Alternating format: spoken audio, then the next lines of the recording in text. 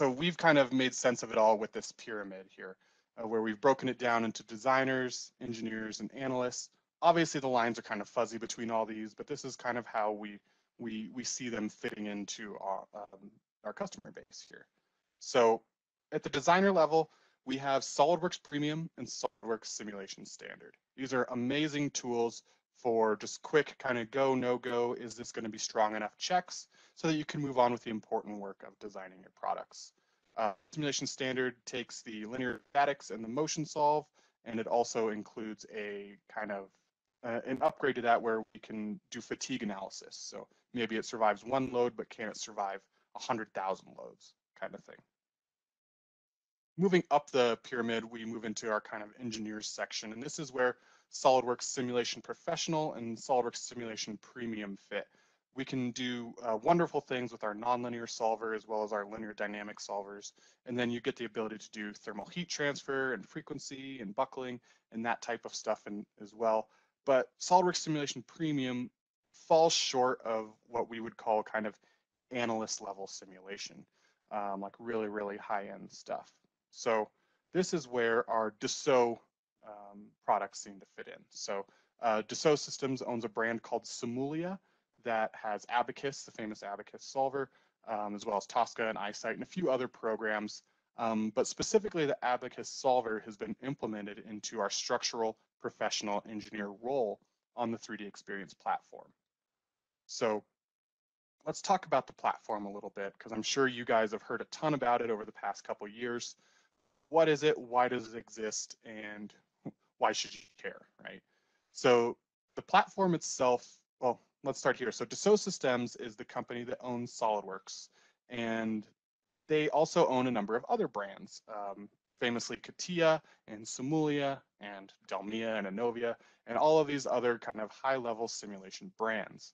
So the, the vision for the platform is to take all of these kind of disjointed um, engineering softwares and kind of put them all in one place where a SolidWorks designer can work alongside a Simulia analyst can work alongside of a Delmia, you know, manufacturing specialist, all in the same environment um, without having the the issues of different data management softwares and different uh, importing and exporting and all of that. So that's kind of the general idea.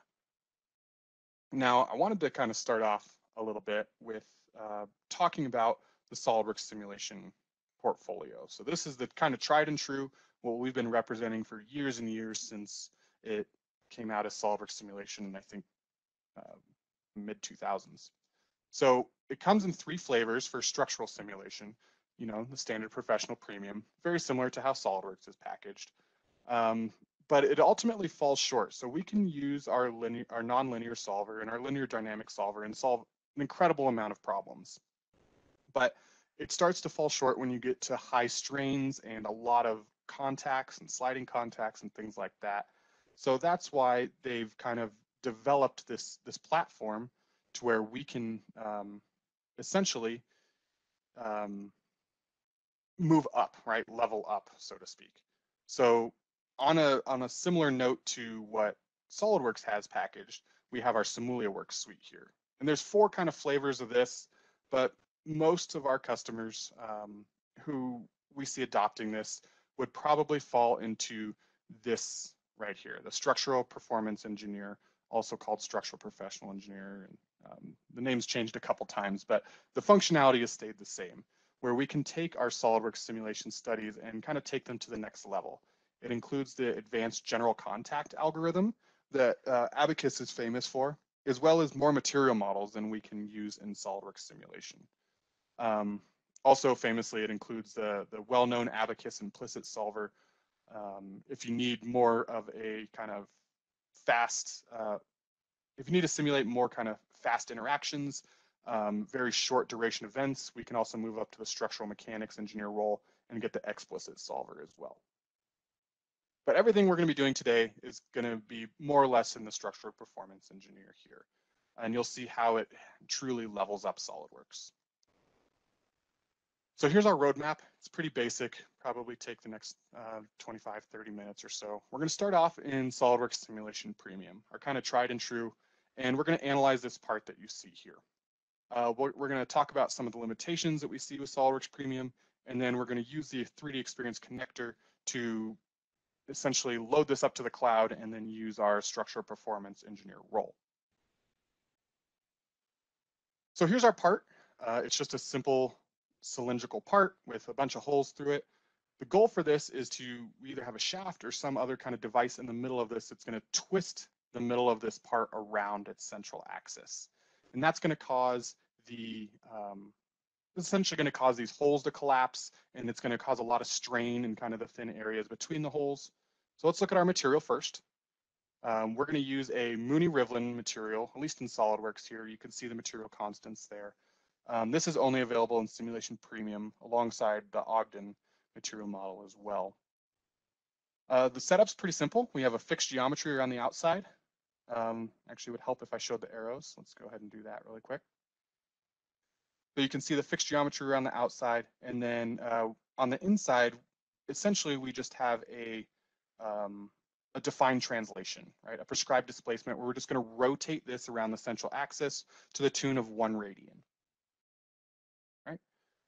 One of the big limitations of SOLIDWORKS is its mesh. So we can only use tetrahedral elements in SOLIDWORKS simulation. Um, they're not bad by any means. Tetrahedral elements are great, um, but a geometry like this is more suited for other types of elements, as we'll see later.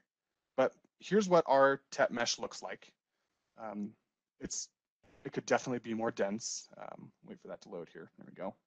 Um, but for the purpose of demonstration, it should do just fine. But you can see that every face of those elements is just a, a, a triangle, right? So let's look at our results here, uh, specifically our displacement results. So we can see that this did indeed begin to twist a little bit, but even this plot is exaggerated. It's not at true scale. Um, so in reality, as far as the simulation goes, it didn't even get this far. So the, the nonlinear solver kind of uh, errored out and it saved results up until this point. Um, but we're starting to get some really high strains in areas of this model that the nonlinear solver in SOLIDWORKS simulation isn't really built to handle. Um, but if we went into the study properties, we could change some of these time stepping options. We could go into the advanced options, maybe change some of these. We could add extra mesh in. We could definitely get this farther in SOLIDWORKS. Um, there's no question about that. It's just going to take a little bit of uh, kind of trial and error and changing a few things here and there to get it to um, solve further. Uh, can't guarantee it'll solve all the way, but it's going to take some um, take some effort. So what we're going to do instead then is we're actually going to upload this to the cloud so that we can use our structural performance engineer role. So we talked about SOLIDWORKS Simulation Premium. The setup's pretty simple. I think you guys understand the problem. So next we're going to talk about the 3D Experience connector. So this isn't just a way to export your part to the cloud and then do whatever. It's a collaboration tool. So you can actually use the cloud to store your SolidWorks parts. So we'll see how that works here. So you access it just like the, the PDM Blueberry. You know, we can just save our part from here and then it'll do, um, it'll come up with a login, again, just like our PDM system would. You log in with your credentials, all right, tell it where it's going to store your parts. Looks great. And then it's going to come up with kind of a, a save options dialog box here. Um, there's nothing too crazy about this dialog box. The only thing we have to make sure that we do is we check that convert button. So that actually launches a separate kind of background process that converts our SOLIDWORKS geometry into something that's usable by the kernel that's on the platform, essentially the software kernel, right? So clicking save, um, this is still a SOLIDWORKS file. You can still check it out just like you would PDM, open it in SOLIDWORKS, do everything you need to do. Uh, it's just now stored on the 3D Experience platform. But I want to upload my simulation as well. So we can click the simulation tab here and click create structural simulation. And what this is going to do is it's going to convert our nonlinear solve, or, or, at least the simulation that we've set up here, to essentially use Abaqus inputs. So it's going to convert our SOLIDWORKS simulation study into a simulation study that we can use with structural performance engineer. All right. So the the 3D experience connector is really simple. It works almost identically to like how the how the PDM would um, that you guys might be familiar with. All right. So finally, we're going to hop onto the 3D Experience platform, check out how data is managed, and play around a little bit with the, the structural performance engineer role. So the platform, since it's cloud-based, you can log in with a browser. So I'm just going to log in just like you would any other website, right? Um, and I like to show this part because it's not shown in a lot of other webinars that I've seen, but I struggled at first with the platform and how I manage data and how I find data because it's not a traditional kind of data management. So what I like to do to stay organized is uh, create a dashboard for all my separate projects. So what I've done for this webinar is I've just created a blank webinar dashboard here, um, totally empty, and we're gonna build it up from scratch so you guys can see how it works. So I'm gonna search for the part that I just uploaded uh, a few moments ago, and that should return a, a number of different files in our search query here. I wanna make sure that I'm getting the correct part before I start anything, so I can select it out of the window and uh, click preview. So this preview functionality will let us view all the metadata and everything that's associated with this part, while also allowing us to use the 3D Play widget to view what this part looks like. I'm a very visual person, so I like to be able to see things, and this 3D Play is awesome because not only can I see the part's name and everything else, but I can actually move this around, turn it, do whatever I need to. There's there's functions in there to like do section views and things like that, just so you can make sure you're working with the right file. So that looks like the part we need. I'm gonna go ahead and pin this search that we've just done to my dashboard. So it's gonna be like a widget on this big blank canvas here. So every time I visit this dashboard, that search, those files will be right there. I'm just gonna rename the dashboard um, just to kind of stay a little bit more organized here. Um, again, I'm a visual person, so I like to see things more than read walls of text. So I'm gonna drag another instance of the 3D Play widget onto the dashboard and then I'll drag the part into that widget. So that way, every time I visit this dashboard, I'm gonna be able to see what part this is representing and um, you know, be able to communicate effectively. You can do markups and stuff in the 3D Play. So it's really neat, um, kind of a very unique way to manage and, and, view files. We'll do a little bit more with the dashboard later, um, but the benefit of it is I can do anything I need to with these files from here. So I'm gonna use this to launch our structural scenario creation app. So everyone talks about the 3D Experience platform as being on the cloud, browser-based, um, that type of stuff. But there are a few roles that require local installations. Um, simulation is one of them. To set up simulations and run them, you need there's a small local install that you need to have on your Windows machine um, in order to be able to do that. Looks like mine launched on my other screen. So let me just drag that over here. All right. So it's asking me what I want to do with the simulation studies. So you can see the nonlinear study that we created on this part already in SOLIDWORKS. If we had multiple studies, there'd be multiple ones in there. I want to transfer this one to our existing simulation setup. So we just click OK. It's going to do kind of some background uh, conversions of the boundary conditions and stuff and give us kind of a readout of what was successful. We can see in here that our rubber material model, the Mooney-Rivlin, didn't quite carry over. That's fine. I have another material we're going to use on the platform anyway. And then our kind of twisting load didn't carry over either. That's fine. We'll get some practice at setting it up. Everything else carried over. Um, so we should be good to go to begin um, our setup. So here's our part. Here's our tree. My tree's kind of small. Let me kind of expand that out so it's easier to read for you guys. There you go.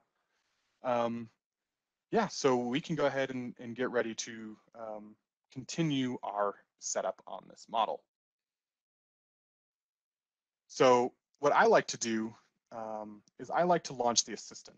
Those of you who might have used the SOLIDWORKS Simulation Assistant might know that it's not the greatest thing ever, um, but I find the assistant in Structural Performance Engineer to be really great. You can see um, X's when things aren't available. You can see errors on, on specific parts of your analysis.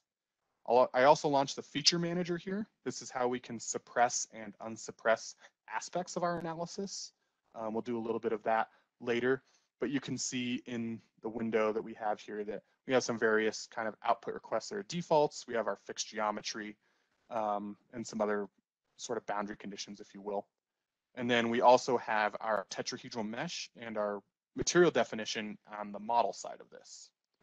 We're going to delete that mesh because we're going to create a better one. So um, Vitet mesh, and we'll delete the material definition for our part out of this as well.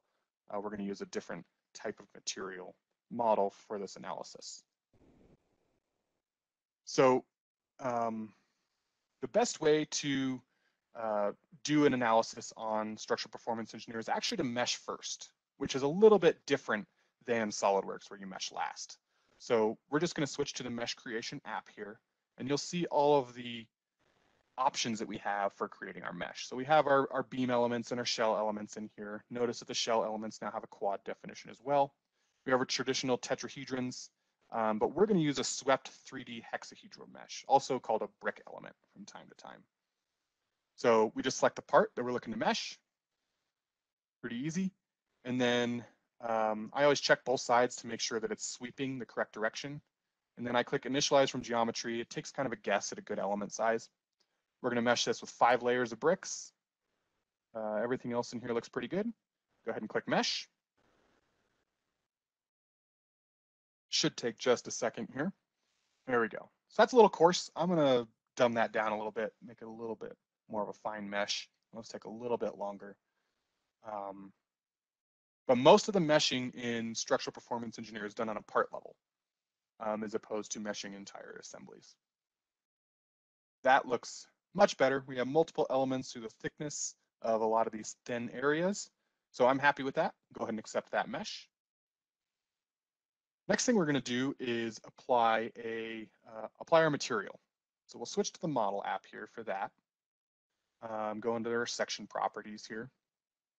Again, we just select the, the part out of the, the graphics window and we can use a, a, a search function for our materials, very similar to the material definition in SolidWorks.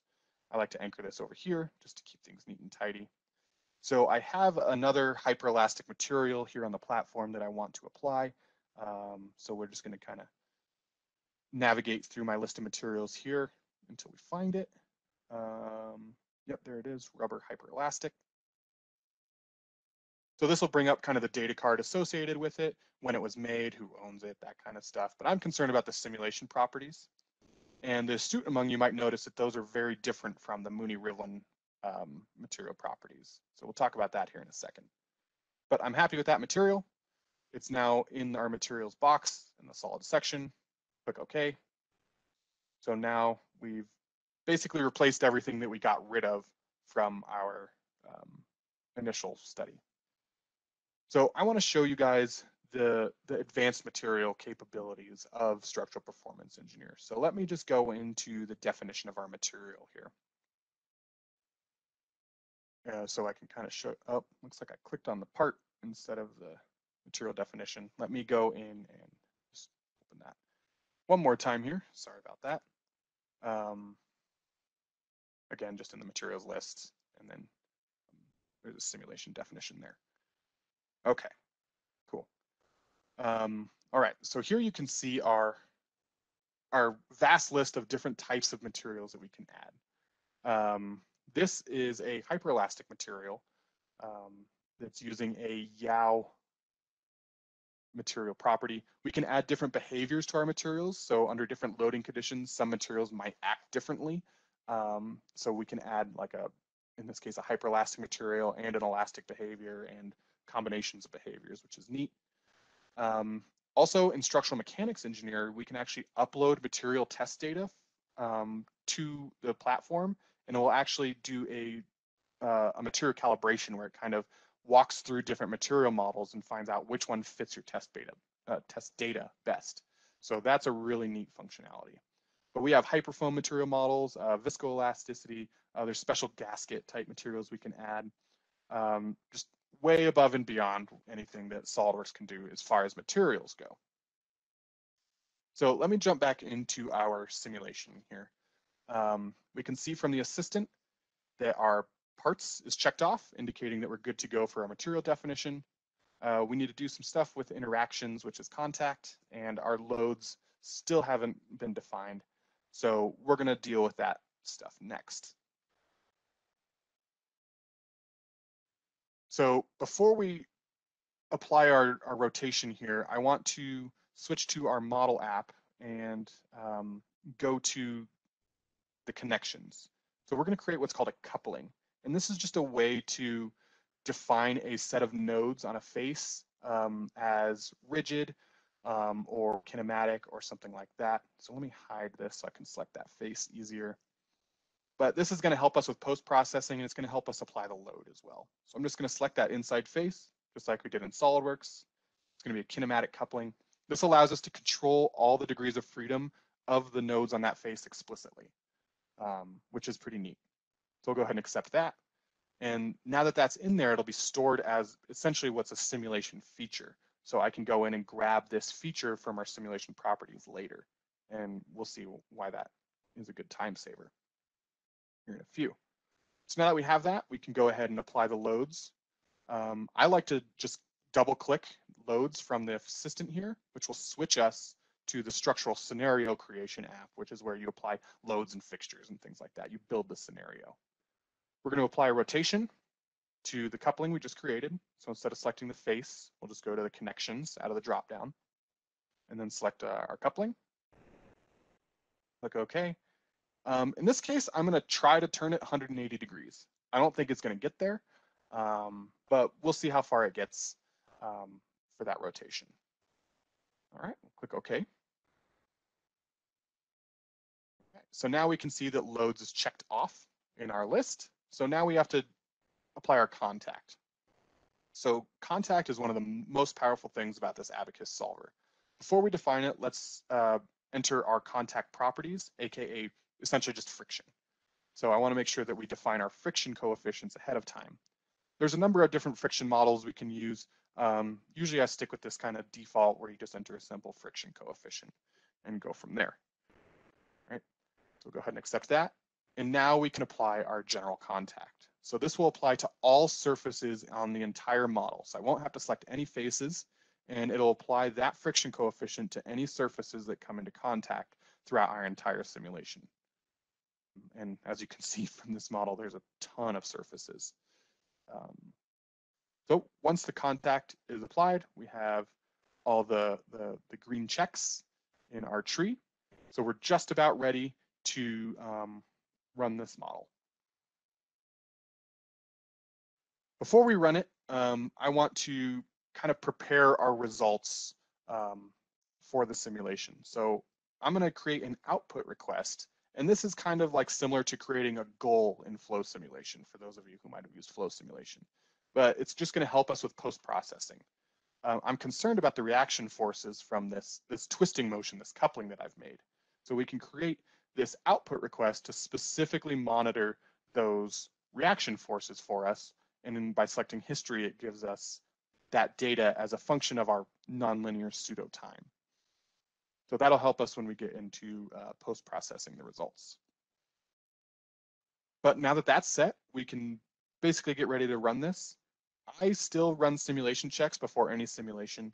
Um, this is a built-in way that um, that that structural performance engineer kind of looks at your entire simulation. So it looks at your FEM model, it looks at your loads and your fixtures. Uh, it saves your simulation, which is always welcome. And it just kind of does a quick go, no go analysis to make sure that everything is, uh, is, is good to go before you commit to a large simulation solve. So we'll know that it's done when the results turns green. So we get that little green uh, dot on the results folder there indicating that um, our simulation checks were good. So now we can actually go in and begin our uh, actual simulation. The simulation checks aren't required, but I highly recommend them. There's a few ways we can uh, run our simulation. Local non-interactive is essentially you click run and you can close everything down and it'll just run in the background. Um, so it's not in your way. I like local interactive because it gives you kind of a solve dialog box with the iteration count and everything. Uh, it comes with four cores of embedded computation, but you can purchase tokens and credits to either increase the horsepower that you're using on your local machine or to solve on the cloud. Uh, the 3D experience content is just a lightweight simulation results file that we can view on the browser version. Right, obviously we can overwrite any previous results. That's just a default there.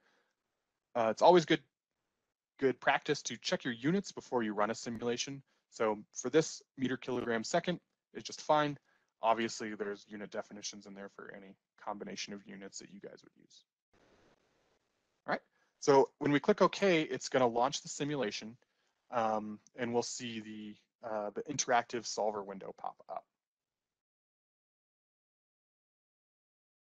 So um, this analysis uh, does take a little while to run, obviously, um, but we can view the iterations. There's a messages window where we can view any warnings or errors that are coming up.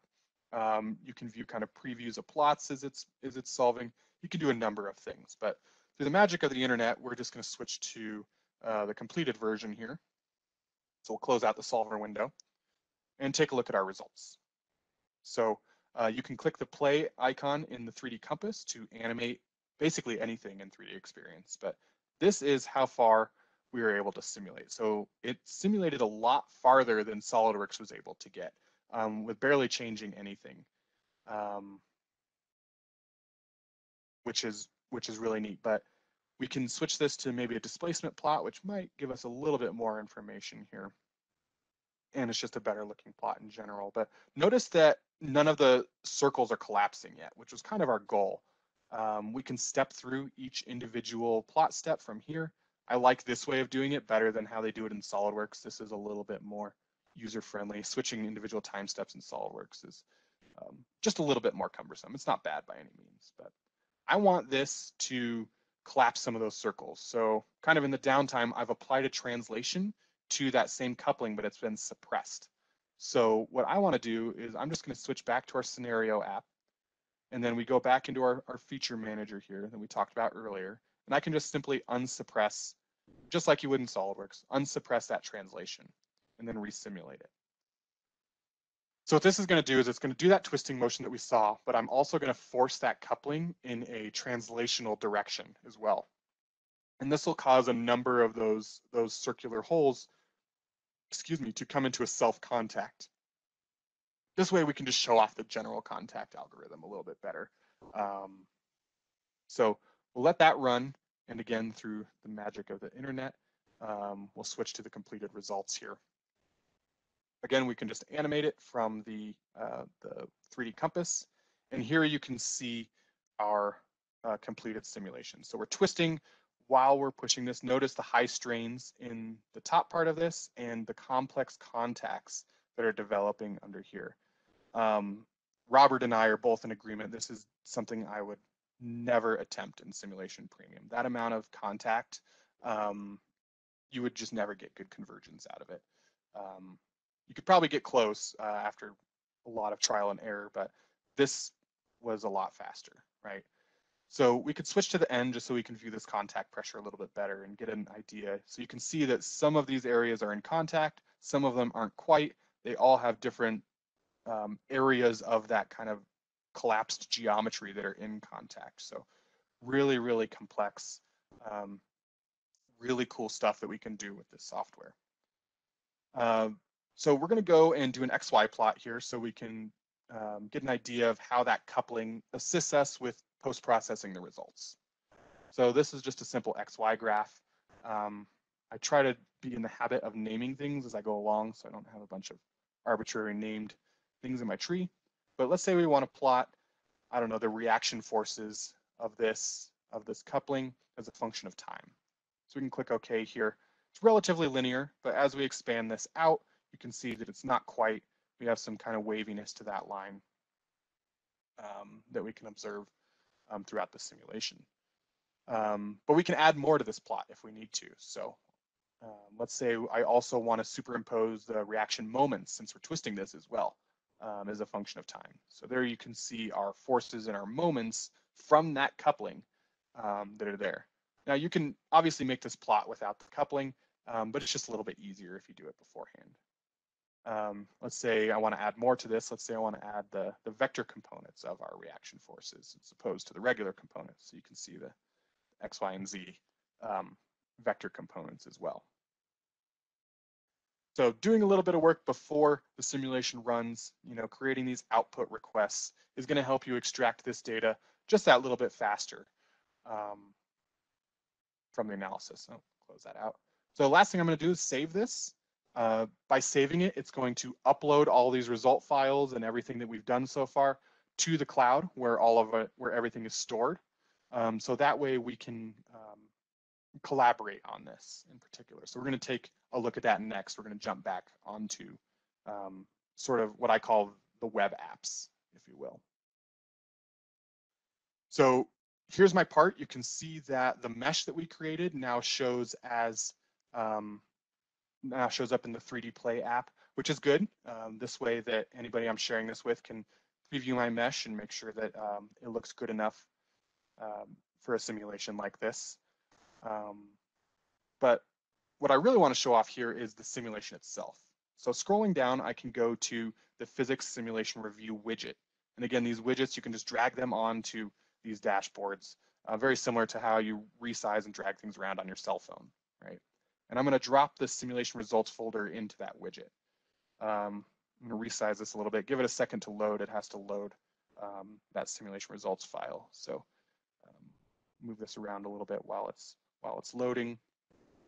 There it goes, nice.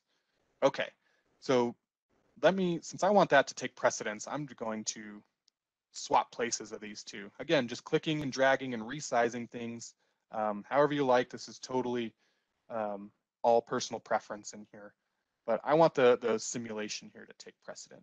So we can animate this just like we were doing on the native apps version, and you can see the results of our simulation. And this is all through a web browser. I'm in a, a Chrome tab right now. We could switch the time steps here uh, for individual time steps if we want. Um, you have a lot of like kind of basic post-processing tools available to you in this. Um, you can section these. Um, so we could do like a, a section view. Um, this works very similar to how you would expect. Oh, I've moved it off the part now. And I can't find it. So uh, you get this little triad here and you can just kind of move things left and right and back and forth. There we go. So I can kind of drag this halfway through the part in that direction. You see it's kind of cut in half. So you can do annotations and measurements and all sorts of stuff through this, um, this simulation review widget. So I'm gonna fit all of this to the screen so that it's kind of all locked in place and you can't accidentally drag it around. And then I'm gonna actually just go to share this. So Robert, um, just so you know what I've been up to, I'm gonna share this with you um, just so you can see what I've been up to all day. Um, so just type them into the list, click it, you can write a note. And the beauty of this is when I click share on Robert's uh, 3D Experience platform on the web, he's gonna get a notification. And then he'll be able to just click that notification and open up this exact dashboard that I've made. He's gonna see the results of my simulation. He's gonna see that mesh in the bottom left. He's gonna see all of the, the parts in the list. He'll be able to open anything he needs to from there. Um, this is a really awesome, unique way of collaborating that um, just a basic Windows Explorer doesn't really facilitate. So um, I've kind of been learning myself, teaching myself all of this, and I've been really enjoying um, the way that you can kind of share information on here.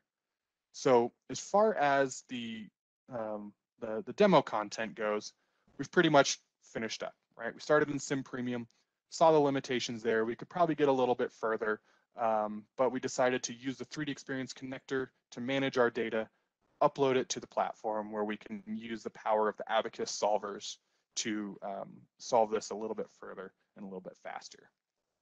So I like to finish this up. I get asked a lot about the computational needs. Since this is a cloud-based product, um, I want to kind of compare and contrast it with existing SolidWorks. So in SolidWorks, there's no kind of core cap as far as your simulations go. Um, there is kind of a law of diminishing return past a number of cores, but uh, it doesn't cap you. Whereas the, on the platform, they come with a four core embedded compute on your local machine. You can buy more horsepower to unlock more cores if you need it. Uh, I haven't needed to in my experience yet, um, but that you have that ability. Um, you can also buy cloud credits where you can actually just use um, the resources on the cloud to to handle the calculations for you. So you don't even have to, um, you know, make your computer fans turn on. Uh, whereas SolidWorks, there's really no cloud compute options, right? So a little bit of give and take as far as that's concerned. And just as kind of a, uh, a wrap up here, I like to cover the general benefits of the Abaqus solver. So yes, it's limited to out of the box, limited to four cores of embedded compute, but in my experience, the Abaqus solvers handle large problems and even complex problems a lot more efficiently. Um, for example, I had a, a demo that I did that, that SolidWorks simulation was taking like uh, a day to, to fail. And then when we uploaded that to the platform and tested it out, it took about six minutes to solve, right? So it's more powerful and it handles large amounts of data better. Uh, the general contact algorithm is probably the star feature here. Uh, in SolidWorks, we would have had to set up that part, select all those faces and try to get self contact set up with a lot of uh, mesh controls, and it would just be a nightmare to try to solve a problem like we just did here. Um, and speaking of the mesh, SolidWorks, we can only use the tetrahedra, whereas we can use the, the hex meshes um, that are a little bit more robust for hyperelastic materials um, on the platform.